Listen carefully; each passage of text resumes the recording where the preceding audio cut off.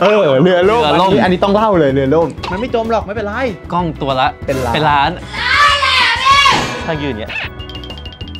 เฮ้ยเฮ้ยเฮ้ยอันนี้ขอพูดหน่อยเออเคยไปห้องพยาบาลแล้วมันใส่ชุดยูโดไงหมดเรื่องแล้วมั้งไอ้เวนคืออันนี้คือเขาเล่าได้ไหมเนี่ย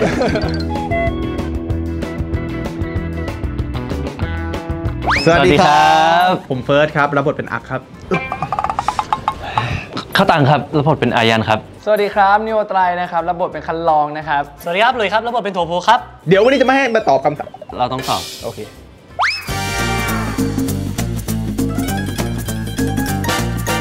เรื่องที่ไม่คาดคิดเหรอ เรือล่ม เออเรือล่มเรือล่ม อันนี้อันนี้ต้องเล่าเลยเรือล่ม เหนื่อยเกินคาดนั่นคือยูโด จูโดเป็นเรือประมงไซส์ที่แบบเล็กไปค่อนกลางครับ พวกเรากำลังนอนอยู่บนเรือเพื่อถ่ายทำแล้วทีนี้มีทีมซาวคนนึง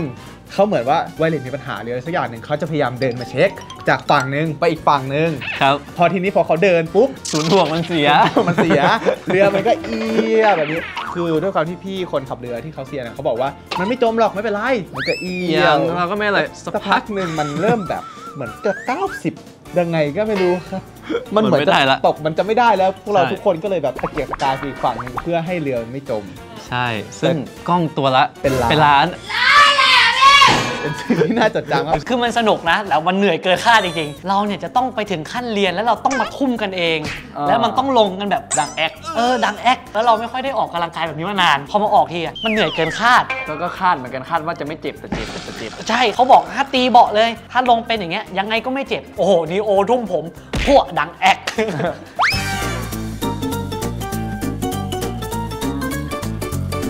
ดูแลตัวเองดีเกินคาด นี่เออข้าวตังเล่นดีเกินคาดอุ้ย เอออันนี้ดีเกินคาดเพราะตอนแรกก็ก็รู้แล้วว่าเล่นดีแต่ว่าพอมาเล่นด้วยกันมันจะมีความแบบเออมันมีความดีแบบมิติมันเยอะอะครับ เราก็ต้องชมคนส่งด้วยไง ถ้าถ้าเขาส่งดีเราก็เออ แสดงออกมาได้ดีใช่ไหมอืครับ อืมครับ แค่ผมสี่ทุ่มอะเลิกกองเราก็หมดแรงแล้วอะแค่เรากลับบ้านอะอ่าแต่ว่า เฮ้ย มันไม่หมดแรงใช่ต้องโทรไปนัดเทรนเนอร์ ใช่บอกว่า พี่ห้าทุ่มห้าทุ่มผมยังว่างโอ้โห แล้วมันมีแรงกลับไปยกได้อะพี่คิดดู ไอ้ห้าทุ่มใช่ไหมอืม เล่นฟิตเนสเสร็จอะอ่า กูอะมีเรื่องที่คาดไม่ถึงกว่านั้น เกินคาดคือ ตอนแรกคาดว่าตีหนึ่งพอนะเขาตังค์สุดท้ายตีสี่ลองคาดเกะกันมันไปหน่อยครับ เกินคาดไอ้เขาตังค์เกินคาดพี่โอก็เกินเกินคาดกล้องอยู่นี่นั่งกินน้ำคุยกับหลุยอย่างนี้เออตอนซีนนี้ยกสดๆเลยยกน้ำขึ้นมากิน นี่ เข้านี่แล้วซึ่งน้ำเนี่ยก็เป็นน้ำที่เขาซีลแบรนด์ไว้ครับทีนี้ไอนิโอก็ไม่รู้ทำไมถึงต้องกินแบบไอหลุยอยู่นี่แล้วพอกินเสร็จไม่เป็นไรนะมึงใช่แต่น้องน้องน้องบอกแล้วว่าว่ามันคือเขาเรียกว่าอะไรนะหลบหน้าเขินอะไรอย่างอ่านี้เป็นเป็นอีโมชันในการเล่นแต่จังหวะแต่จังหวะมันแบบ น่าเหมือนเขี้ยว มันน่ามันใช่พี่เฟิร์สเหรอไม่เกินคาดปะเออเอออาจจะเป๊ะเกินคาด เพราะว่าเออเขาเป๊ะจริงๆนะครับ เพราะว่าทุกครั้งที่เขาจะออกกล้องหรืออะไรเนี่ยเขาจะจริงเขาจับตลอดเลยพี่เฟิร์สอะจับตลอดแล้วพอเขาถ่ายเสร็จเขาก็จะมาดูหลังมอเออหลังมออ่าเช็คเช็คปุ๊บเช็คเช็คเป๊ะเกินคาดครับเป๊ะเกินคาด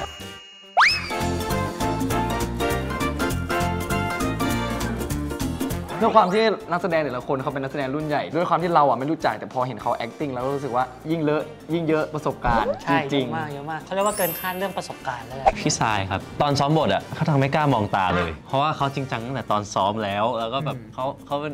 คนที่หน้า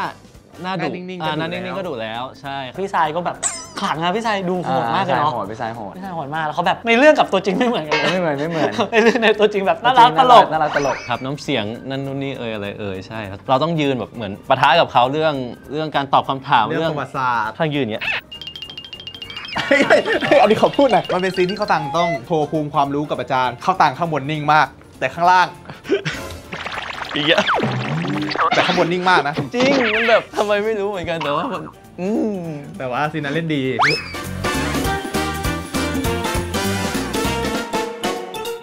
มันมีเยอะมากจนนึกไม่ออกเลยว่าซีนไหน อ๋อมันมันมันจะมีอันที่เพิ่งถ่ายไป อ๋อไอที่ดันติดกำแพงอ่าใช่ใช่เป็นจซีริงๆมันนแบดับนติดกำแพงทุกซีเป็นน เป็นซีนเหมือนเป็นซีนในตอน EP หลังๆแล้วครับ มันก็คล้ายๆมีความ ก็กุ๊กกิ๊กอะไรกันกุ๊กมากกิ๊กขึ้นอ่าน่ารักเล่นๆก็มีเขินจริงบ้าง แต่ว่าคิดว่าเป็นเพราะความสนิทกันเนี่ยอ่ามันเลยทำให้มีเขินที่แบบ อืมมันมันเขินปนขนลุกด้วยครับจักรจีหัวใจ ใช่ใช่ใช่คำนี้จักรจีหัวใจจัคกรัรบจีหัวใจ ล่าสุดอะทำแผลอะอ๋อทำแผลรู้สึกว่าอันนั้นน่าน่ารักสุดแล้วเนาะที่ที่เขาเรียกว่าอะไรเขาโชว์หุ่นไงทุ่มยูโดมา แล้วลง save เราเออก็เลยแบบเอ้ยไม่อยากให้เราเจ็บ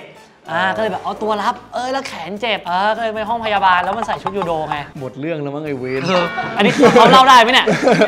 ต้องไปดูเอาไปดูเอาไม่สบายไม่สบาย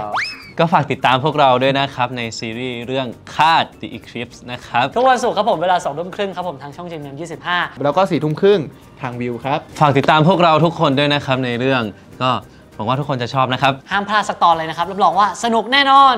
เจอกันฝากด้วยนะครับ